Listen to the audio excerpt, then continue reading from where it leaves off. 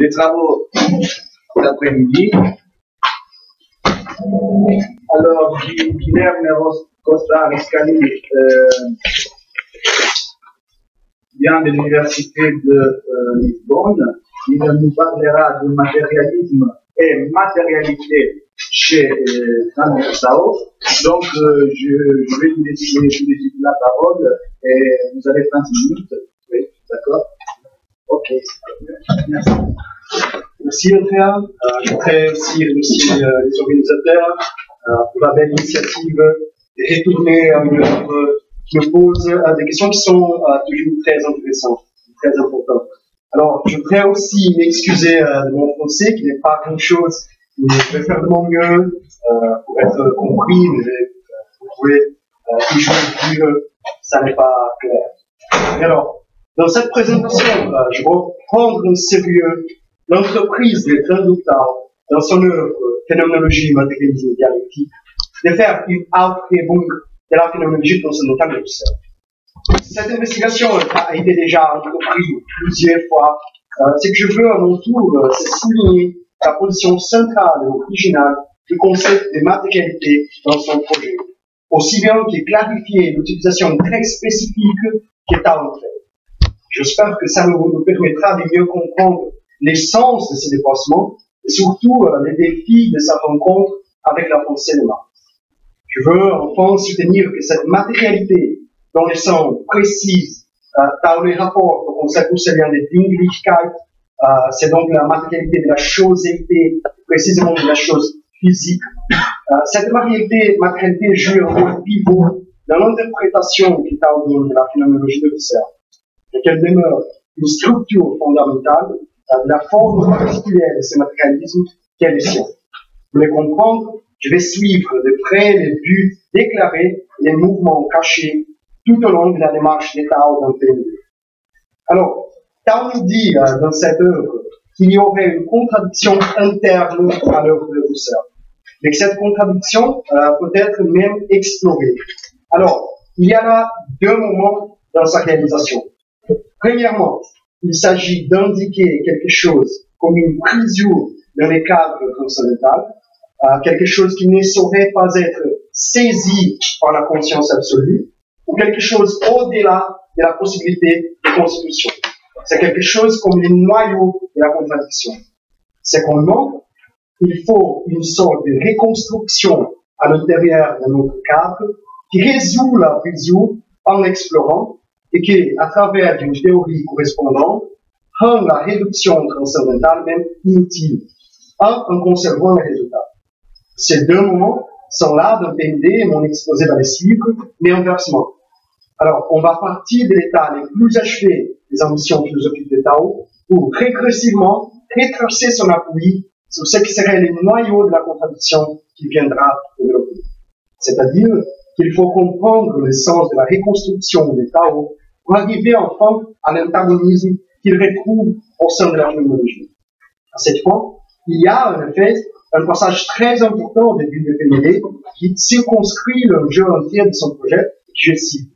Alors, dit Tao, si l'on se rappelle que les réalités psychiques définies sur le plan individuel avant la perception d'autrui correspondent à l'expérience de la vie animale, on voit que la constitution transcendantale ne fait que reprendre sur le plan abstrait du vécu le devenir réel de la matière à la vie et de la vie à l'esprit, entendu comme existence sociale. Il est vrai qu'à chaque étape surgit une structure originale les rapports phénoménologiques des fondations impliquent précisément l'intelligibilité du passage du niveau fondant au niveau fondé. Il ne s'agit pas d'une réduction du supérieur à l'inférieur, mais d'un mouvement dialectique où les relations qui se développent à l'intérieur d'une forme donnée motivent de manière nécessaire, ça c'est très important, motivent de manière nécessaire la constitution d'une forme radicalement nouvelle. Dès lors, la matérialité, l'Ingrichkeit, n'est pas un simple substrat indifférent aux significations qu'il porte. Elle définit la couche originaire dont les mouvements engendrent les mots les plus élevés de l'être, dans la spécificité de leur sens. L'infrastructure réelle qui fonde les superstructures idéales dans leur sous historique et dans leur valeur de vécu. Alors, dans les projets des Tao, les purs vécus qui étaient ceux de la conscience transcendantale ne doivent être compris que comme vécus de la conscience psychologique. Et les descriptions de la phénoménologie doivent s'identifier avec l'homme en chair et en os, se développant dans le monde réel. C'est pourquoi Tao va s'appuyer sur ce qu'il appelle réalité psychique pour bâtir sa propre forme de belle constitution, constitution du monde. Si tous les vécus peuvent être naturellement ou transcendamentalement compris, selon la poursuite qu'on le fait, comme l'a montré déjà dans le paragraphe 33 des Danes Eyes, alors, en fait, la possibilité de ce double passage était déjà assurée chez Husserl lui-même. Et je cite tout ça. À chaque constatation des faits au des sens d'un l'une répond une constatation parallèle à l'autre. Ce que Tao retrouve ici euh, à travers un changement de signe, l'expression de Tao, un changement de signe des champs de la psychologie descriptive en tant que discipline encore éthique. C'est sur ces terrain qui se propagera sa réflexion. Mais cette psychologisation de la phénoménologie transcendantale, et on a ici une remarque qu'il faut toujours souligner, bien qu'elle soit une étape significative pour Tao, n'est pas une menace pour la phénoménologie, comme on pourrait peut-être l'imaginer. Vrai dire, on a souvent surestimé autant les pouvoirs que la frayeur de la naturalisation, sans comprendre justement que toute l'erreur se fait par la incompréhension de ses méthodes, de ses limites, de son usage. Alors, si comme dit euh, pour le exemple, Benoît, il y a quelque chose comme une violence à laquelle Tao soumet la phénoménologie, elle ne saurait être simplement Par contre, euh, on s'est déjà croisé avec un autre type de changement de signe qui s'effectue à l'intérieur de la structure psychologiquement interprétée de la reconstruction, telle qu'elle le décrit, et qui semble en fait inverser la direction euh, de l'opération de la nécessité de la constitution. Bien sûr, la structure transcendantale de la belle constitution nous donnait des règles bien précises pour toute constitution qui décrivaient les conditions de possibilité pour chaque type différent de constitution. Mais ce que Tao introduit en revanche, c'est un passage nécessaire. Il parlait même d'une motivation nécessaire, ce qui fait changer complètement toute la direction d'explication des formes constitutives. Ici se réalise effectivement une intervention subtile, mais qui aura un grand écho parce qu'elle touche à la relation même de fondation, donc au cœur de la démarche de la Constitution. À mon sens, on pourrait voir condenser ici, euh, dans cette interprétation dialectique de la Fondation, toute l'audace et les défis des PND. Et l'important à retenir pour le moment, c'est que cet autre changement de signe sera beaucoup plus décisif et beaucoup plus difficile à justifier dans le contexte de la philosophie de ça. En fait, ce que je veux soutenir, c'est que ces changements n'est pas un mouvement de phénoménologie, mais sera ici vraiment la violence qui comprime la phénoménologie.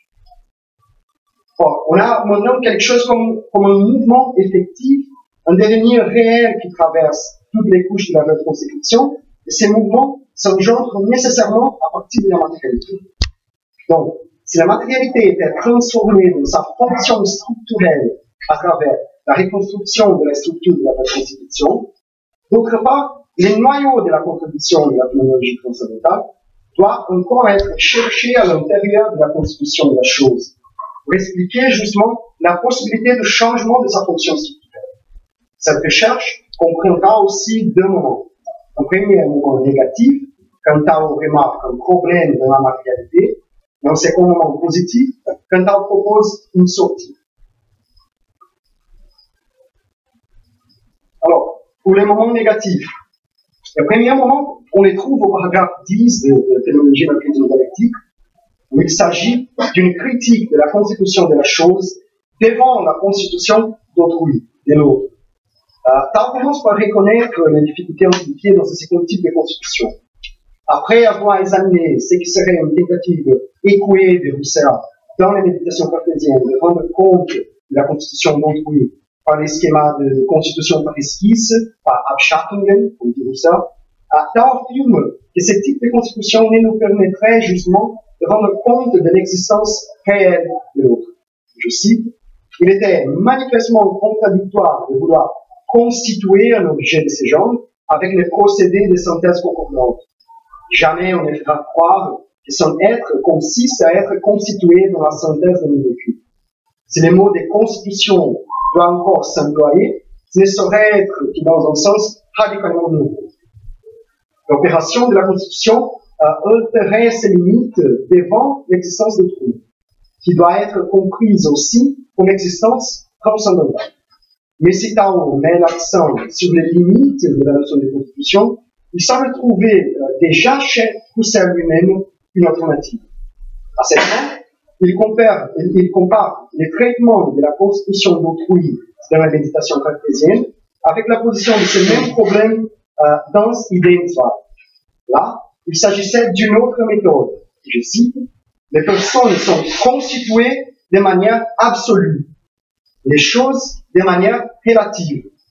L'existence absolue des personnes se saisit ainsi dans une manifestation absolue en opposition à ces déploiements de silhouettes qui caractérisent la perception des corps. Ces deux modes d'expérience permettent d'opposer deux mondes, l'un relatif, le monde de la nature, l'autre absolu, le monde de l'esprit. Or, cette différence entre le monde relatif et le monde absolu serait à la fois une différence ontologique et une différence constitutive. Mais à son tour, euh, cette nouvelle configuration ontologique constitutive va déclencher un autre problème qui concerne la, relation de fondation entre la constitution du monde de l'esprit et du monde de la nature.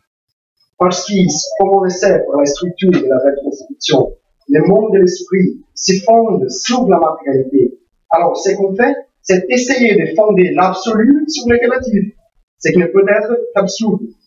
Je cite là, euh, dès lors, les mentions de la constitution par mode d'apparition enveloppe une contradiction qui trouve sa sanction dans une idéalisation totale.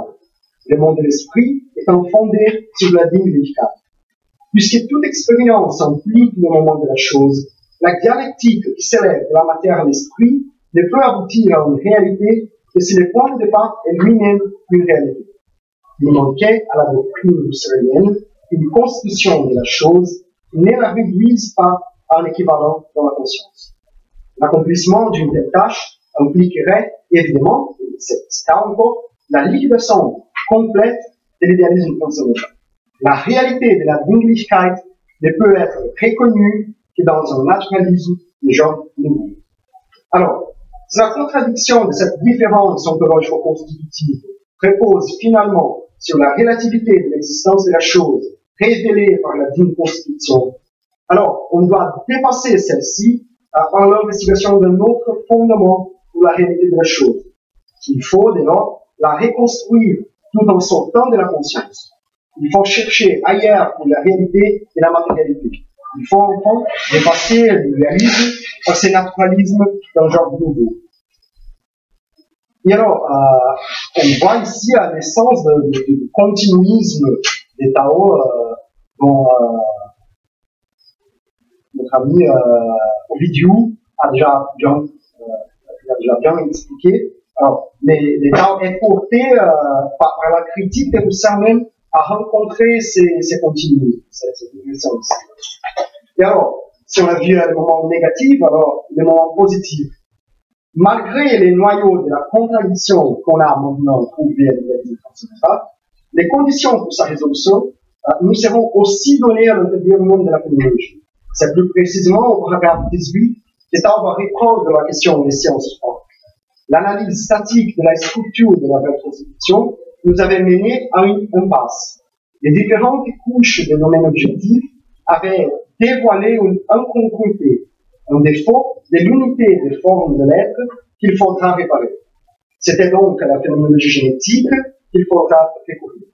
Or, la phénoménologie génétique, elle permet une, une investigation sur l'origine du sens des concepts, du concept et du sens de ces évidences.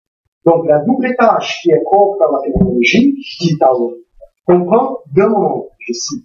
Le sens de l'être dans ces différentes régions sera d'abord pris tel qu'il se présente est soumis à une description statique qui précisera la structure de chaque domaine et corrélativement ses modes d'apparition dans la conscience.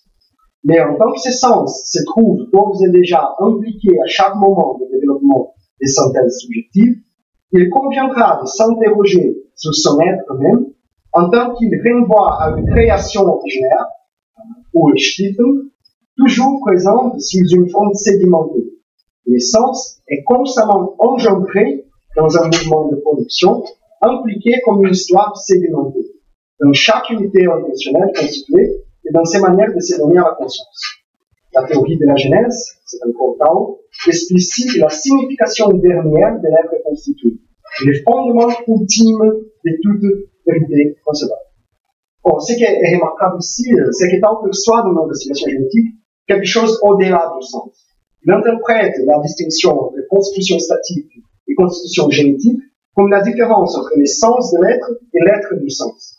Et cela ne sera pas sans conséquence pour tout l'enjeu de son pensée. D'une part, tout d'abord, euh, on voit que cette démarche peut apparaître comme une solution au problème du paragraphe, euh, paragraphe 10, euh, parce que si on est seulement arrivé à être relatif, comme on a considéré la structure relative de la constitution de la chose, alors ce sera en revanche dans l'espace de l'institution, de la création, du Stiftung, et de cette histoire sédimentée, qu'on va trouver la réalité manquante de la chose. Cette dimension de, création euh, vient pour nous protéger des deux dangers. Les périls d'un certain sensualisme historique et les périls d'un certain formalisme des idéalités. On voit ici euh, la motivation euh, ou l'importance donnée par Tao à la constitution génétique dans sa lecture de, la phénoménologie. C'est précisément parce que le matérialisme dialectique doit toujours se battre avec le matérialisme naïf qu'il faut forcément retrouver une voie pour réintroduire l'histoire de notre matérialisme et l'activité de notre objet. D'ailleurs, si, le matérialisme dialectique se prétendait une critique des idéologies, il faudrait avoir effectivement une manière de montrer, de montrer leur genèse dans une pratique effective et concrète dans le monde des intérêts humains. La genèse passive, tout cela, c'est la clé du rapprochement de Lucien et Marx. D'une autre part, néanmoins, L'autre conséquence qu'on tire de la lecture d'État est qu'elle semble à la limite jouer la genèse passive contre la constitution statique, comme si l'une venait faire ce que l'autre n'avait pas réussi. Puisque, selon l'organisation même des phénoménologies mathématiques collectives, la dimension de la genèse est introduite comme réaction aux limitations de l'analyse statique, comme réponse à un appel d'insuffisance de la constitution, tout fonctionnera de manière à ce que, effectivement, la Genèse, et plus précisément la création originaire, euh, viendrait fournir un autre type de fondement. Et ça, c'est curieux aussi parce que malgré euh, les buts matérialistes de Tao et malgré ses critiques à l'existentialisme, la stratégie qu'il joue pour, pour, critiquer la phénoménologie de tout ça, jouer la constitution contre l'institution le, le, sens de l'être l'être du sens, euh, c'est très similaire à, à, à, des autres critiques euh, contemporaines de, de, la philologie de, ça.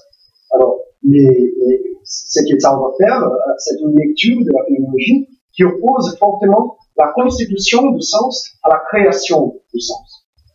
C'est-à-dire que, que l'institution vient de résoudre euh, les problèmes de Pantardi, euh, mais elle vient aussi d'occuper les vides qu'on avait découverts dans la constitution de la chose. Ce n'est pas par hasard que les Tao critiquaient dans ces mêmes la constitution comme une espèce de construction en rapprochant la phénoménologie du kantisme.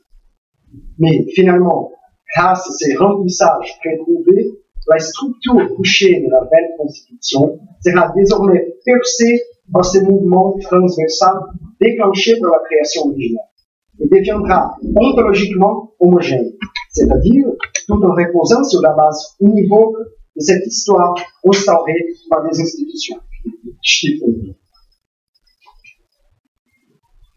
Cela veut dire euh, que la structure de la belle constitution était surpassée en tant qu'investigation fondamentale sur les types différents des domaines euh, objectuels, en tant que structure des différentes couches ontologiques, mais cela veut dire aussi euh, qu'elle devra être réalisée sous une autre figure, en retenant quelque chose de sa forme. je cite tant, dès lors, il n'y a plus lieu de séparer les différentes régions de l'être et de les idéaliser en les réduisant aux formes corrélatives de la synthèse.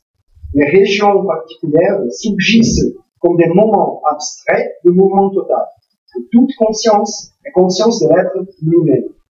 Notamment, euh, les régions ontologiques de la phénoménologie transcendantale deviennent des moments et ces mouvements toujours présents à la conscience. C'est vrai, mais résultant aussi euh, d'une série d'institutions. Or, aucune genèse transcendantale naturelle peut être constituée, par exemple, un live sans identificat, ou, les mondes de l'esprit euh, sans les mondes de la nature. Ça, c'est trivial. Mais ici, ces restrictions euh, seront des conditions du mouvement des lettres qu'on avait découvert, du mouvement qui serait désormais les mouvements de devenir réel. Euh, je cite encore une fois, euh, les mouvements historiques de la réalité elle-même. Celle-ci n'est plus alors cette mosaïque de régions séparées telle qu'elle apparaissait à la conscience naïve, elle se présente maintenant comme des devenirs concrets où l'être se constitue dans la diversité de ses monstres. La matérialité n'est plus cette région particulière qui semblait dans l'abstraction de son sens d'être incompatible avec la pensée. Elle est la forme originaire et toujours présente du mouvement qui l'élève à la vie et à la conscience. Nous aboutissons au matérialisme dialectique comme vérité de l'idéalisme concerné. Alors, Tao avait rencontré à travers la phénoménologie une espèce de genèse naturelle, un devenir réel qui venait remplacer la belle constitution et qui avait sa base ontologique très précise dans la matérialité. C'est-à-dire aussi que néanmoins les analogies formelles, le sens selon lequel la matérialité était une couche originaire euh, est désormais totalement changé, et même son fonctionnement conceptuel. Cela permettra à Tao de parler effectivement d'un passage d'une couche à l'autre. La matérialité n'est plus seulement quelque chose qui fonde toute constitution d'ordre supérieur, mais aussi le sol de tout mouvement effectif. L'infrastructure qui engendre les mouvements réels jusqu'au niveau social et même jusqu'aux superstructures. Donc, une forme de dialectique dans la matérialité. Ici, euh, peut-être, se trouve la conséquence la plus significative. Euh, la matérialité, en effet, occupait une position de conditions primaires à toute constitution de niveau supérieur, euh, dans la structure océanienne de la constitution.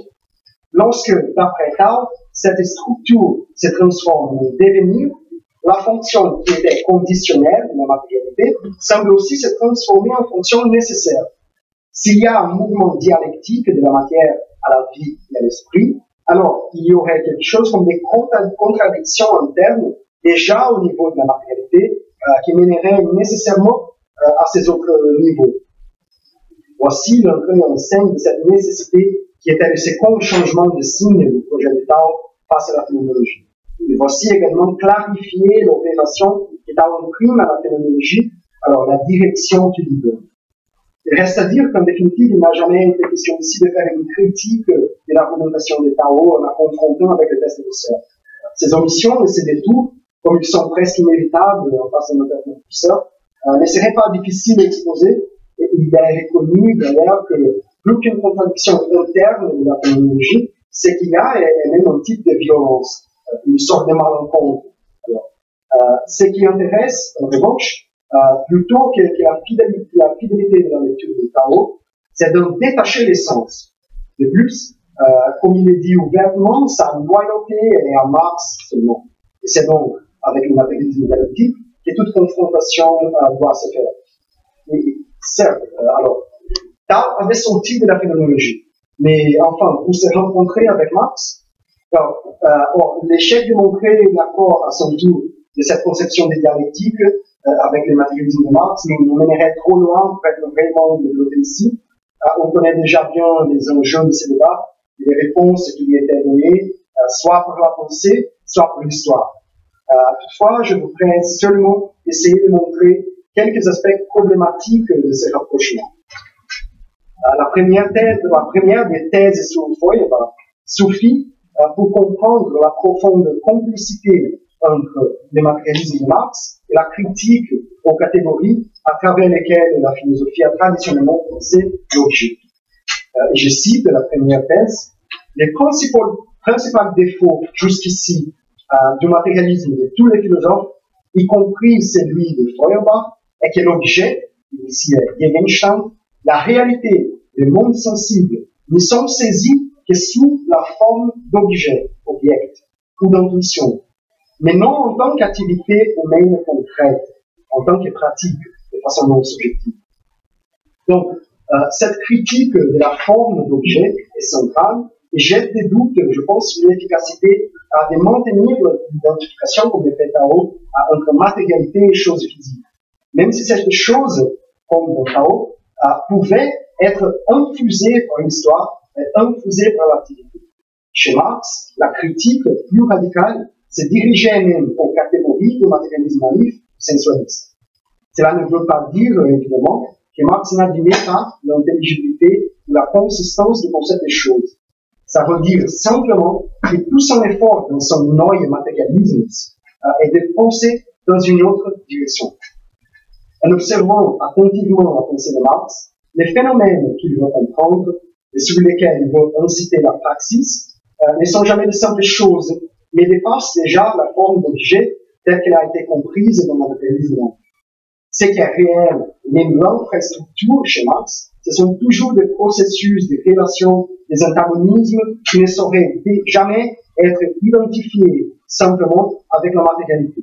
C'est le cas du capital, du travail et de l'exploitation, euh, qui vont engendrer des formes objectives et spécifiques, mais qui ne sont eux-mêmes ni des objets ni des choses.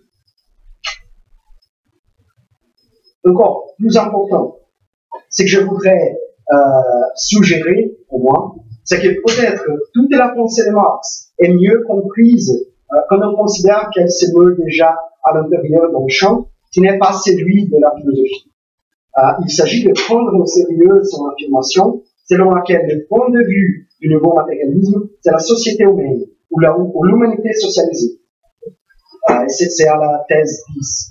Alors, souvenons-nous que l'essentiel de la critique de Marx au matérialisme naïf, c'est que le monde sensible est déjà le produit des hommes, de l'industrie et de l'état de notre société. Devant cette affirmation, donc, quelqu'un pourrait demander, et dans le cas du monde tel qu'il était avant les hommes, avant l'industrie, avant la société, Or, dans ces cas, l'affirmation ne peut pas être vraie, évidemment, mais elle n'est pas non plus fausse. Ah, la question est simplement hors du domaine déterminé par les points de vue du nouveau matérialisme. Euh, les gestes inauguraux du matérialisme de Marx ne seraient pas donc une critique philosophique du matérialisme naïf, mais un type très précis de critique de la philosophie tout court. Sa théorie serait déjà d'utiliser les concepts phénoménologiques, une théorie du monde de l'esprit. Ces concepts, déjà des concepts du monde de l'esprit. Alors ici, euh, la question aussi euh, que gère, peut reprendre. Mais c'est là l'explication pour le fait très banal qu'on ne peut pas, même si l'idée est attractive, chercher un étudiant les, agglomérations d'amibes, les motifs de la victoire de Donald Trump, pour comprendre un étudiant les sociétés des chimpanzés, euh, quelque chose sur les stratégies électorales du Front National. Bien au contraire, une analyse matérialiste au sens de Marx est toujours une analyse des relations spécifiquement sociales. Tout type d'objet, naturel, idéal, spirituel, pour entrer en considération. Une analyse reste sur le plan de relations à que certaines configurations humaines spécifiques entreprennent avec ces objets. Les choses physiques sont là, bien sûr, et la matérialité est toujours en relation avec l'homme dans sa dimension historique et est toujours la matérialité telle qu'elle est transformée effectivement en lui. Il n'y a pas donc de matérialité abstraite comme couche originale, il n'y a pas de lois dialectiques déjà données dans la chose physique purement naturelle. Les analyses d'État, par contre, semblent tous les temps vouloir effacer les limites entre les domaines d'investigation. Quand Tao veut faire une espèce de préhistoire de la conscience dans la matérialité, ce qu'il fait en effet, euh, est pour le dire d'une certaine façon plus husserlienne, la confusion entre concepts et méthodes des domaines objectifs différents, en les jetant les unes sur les bases des autres, ou, pour le dire d'une façon plus marxienne, la prise en compte d'une détermination abstraite en la donnant une portée qui n'est pas la sienne. Le cas le plus flagrant euh, est celui du développement d'une notion de dialectique du comportement euh, pour contenir ce qui, dans le système de Tao, correspondrait à la praxis et nous permettrait exactement de nous éloigner des erreurs d'un matérialisme Mais le comportement n'est pas la praxis. Le concept de comportement est destiné pour se mouvoir sur le plan psychologique n'est capable d'expliquer les relations sociales, comme les concepts de la physique ne peuvent pas expliquer ce qui est propre de la psychologie. Euh, alors, on peut penser aussi euh, sur le problème de, la production, euh, s'y demander si le concept de production euh, des Tao restent sur le même plan méthodologique que les concepts de, production de, de Marx. C'est une question qu'on peut aussi euh, reprendre. Alors, c'est-à-dire, euh, ces concepts ne peuvent le faire, euh, ne peuvent passer euh, sur un autre domaine qu'en décrivant en parallèle dans ses propres domaines les conditions correspondantes de l'émergence des phénomènes qu'ils veulent expliquer sur l'autre domaine. Euh, alors, c'est par exemple le, le, le, problème traditionnel pour les philosophes analytiques, le hard problem of consciousness, un problème de, de, de domaine d'investigation. Alors, euh, pour finir, euh, même si on considère une théorie physique, par exemple, qui avait un grand pouvoir d'explication, elle sera encore et toujours une théorie sur les objets physiques.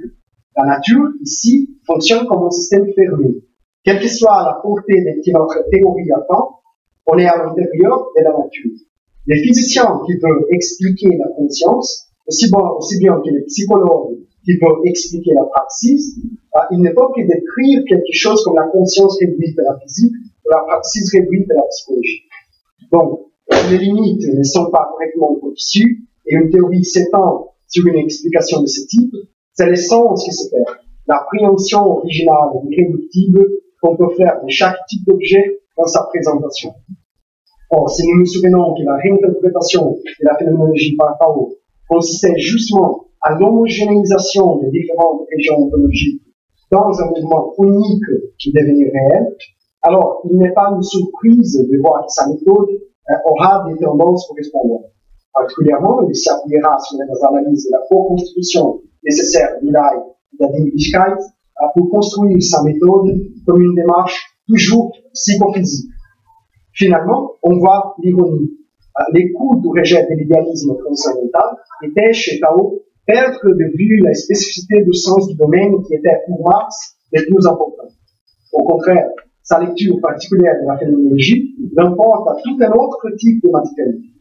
Et alors, il n'est pas question de dire que Tao arrive à des résultats intéressants ou productifs. Ah, il s'agit surtout de noter une certaine hésitation à l'intérieur de son propre projet, euh, parce que celui-ci euh, pouvait réussir en tant que science psychologique, mais ici, il n'était pas le matérialisme de Marx. C'est difficile de concilier d'une part le naturalisme et d'autre part le matérialisme de Marx. Il n'y a pas de nouveau naturalisme à l'accompagner des neue matérialismes. Voici une contradiction qu'il faut dépasser.